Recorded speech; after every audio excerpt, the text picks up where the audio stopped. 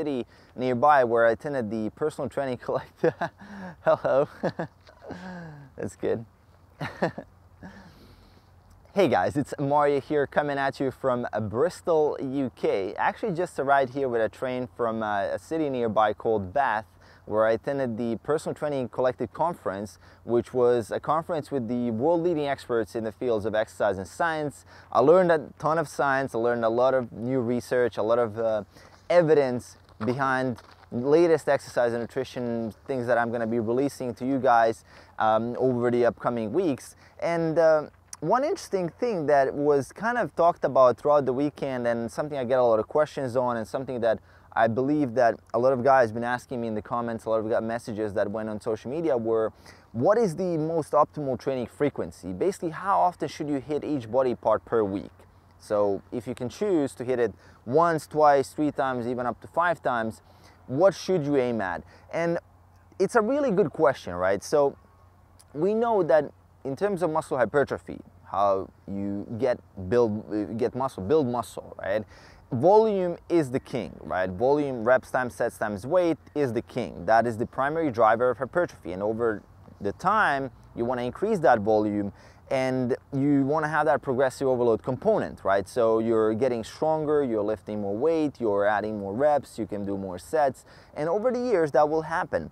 And now, what frequency is, what training frequency is, basically what does it mean to hit multi, um, a muscle group multiple times a week, is basically the way you organize that volume, right? So as you progress, as you increase your training age, as you get more and more experience, the more volume you're gonna need and it gets harder and harder to maintain the quality of volume if that volume will just simply come from one single session. So you can't do too much in one single session, after which it becomes um, a little bit of uh, hitting that point of diminishing returns where your focus is not optimal, you're getting more tired, you're more fatigued, you can do less weight because you just done too much work at once. And in that situation, that's where the the thing with training frequency becomes very, very important because you can actually modify your training program to be hitting the muscle group multiple times per week. And that way you can mitigate the fact that you will get those diminishing returns in one single session. So from if you summarize all the all the kind of research and whatever uh, stuff that is out there, my personal recommendation would be to train a body part about two to three times per week. And I'm not saying that just from the simple standpoint of volume, I'm saying that from a standpoint also of skill acquisition because as you're training these lifts such as squats and other compound movements like bench press, the deadlift, there's a big benefit of training that lift more frequently. And um, with the deadlift, you can probably get away with training it maybe once heavy per week and then maybe some lighter variations throughout the week. And maybe with the squat, you will benefit also from incorporating maybe pause squats, different kinds of squats. But these movements take time to learn. And the best way to learn these movements is really to train them, to do them more frequently. And as a beginner, it tends to be even more important to do that because you're passing through that phase of neurological adaptations before you can even get to that optimal muscle growth. And that's why I find it very, very important to train the lift multiple times a week.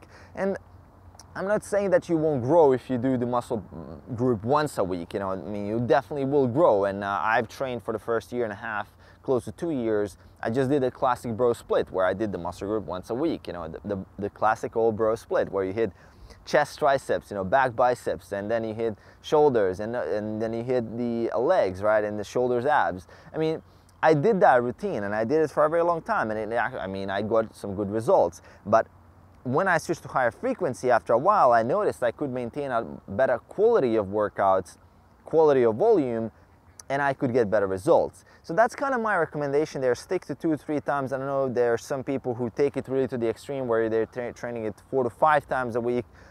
I wouldn't say that's necessary uh, for someone who is, uh, who's basically less than maybe five years of training and someone who's not a powerlifter where they're really into that skill acquisition where they want to master their squat and really have it like be so so efficient that you don't even need to warm up basically you know if you train the squat every day i mean there's been some studies in Norway with Norwegian frequent, famous Norwegian frequency study where they shown that training the squat multiple times a week, even higher frequencies, maybe even twice a day, you know, we can be beneficial for in terms of strength. But for hypertrophy, for size, for bodybuilding, for physique goals, there hasn't been much compelling evidence to show that more than training a, training a body part more than two to three times a week is beneficial. So that's currently what we know. I mean, if there is there any research coming out, i am always open to change my opinion and adopt new data and improve my programs. And I would say for now, that's a really good general rule of thumb to go by. And um, the results are quite fantastic when you first move from that uh, bro split to a higher frequency training program if you're never used to it. Uh, you could actually incorporate periods of where you hit the, the bro split and any periods where you hit the higher frequency. I mean, there's really no limitations. This is, a, this is an art form. This is not a strict science because this is an applied science. And when something is an applied science, there's a, there's a lot of nuance and there's a lot of uh, kind of room where things can change. You know, things can be done in different ways and there's many different ways you can uh, get to five. You know, it can be three plus two, it can be one plus four, it can be five plus zero, it can be six minus one. You know, it's like it's just a simple example, but there's many ways to do this. And the key is really to find the best way that suits you and that you can adhere to and that your training pro program really fits your needs on how many times per week can you get to the gym and then you kind of adjust the training frequency toward that. I had really good success with upper lower splits where I had uh, been training muscle groups twice a week. So I hit the chest, um, let's say on a heavy day, and then there's like a moderate day on the second time, or like same for the for the squat, for the legs. And I had really good success with that. I also had really good success with, uh, with, three full body sessions per week, where I train each body part three times a week. I also had success where where I would train. Um, uh, upper lower upper lower upper lower. So three times a week and I would hit heavy moderate and light day you know? I mean there's many different ways as I said to train. The bottom line is that the, I saw the benefit of higher frequency. So if you stick between those two to three times per week per body part times per week per body part you will get uh, good results. And uh, that's pretty much uh, the conclusion that I came to. And I hope you guys enjoyed. Uh, it's getting really freaking chilly here in, in Bristol, UK.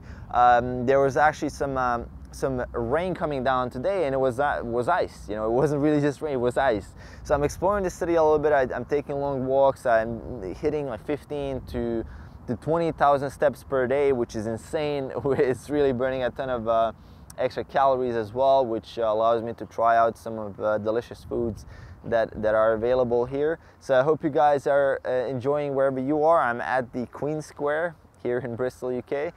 Queen Square looks pretty nice, as you guys can see around me. It's pretty cool. Uh, and um, yeah, hope you guys enjoyed the video. Let me know in the comments below if you have any questions on training frequency. So shoot me a comment below. And as always, make sure to hit that subscribe button to support the channel. And I'll see you guys in the next one. Peace.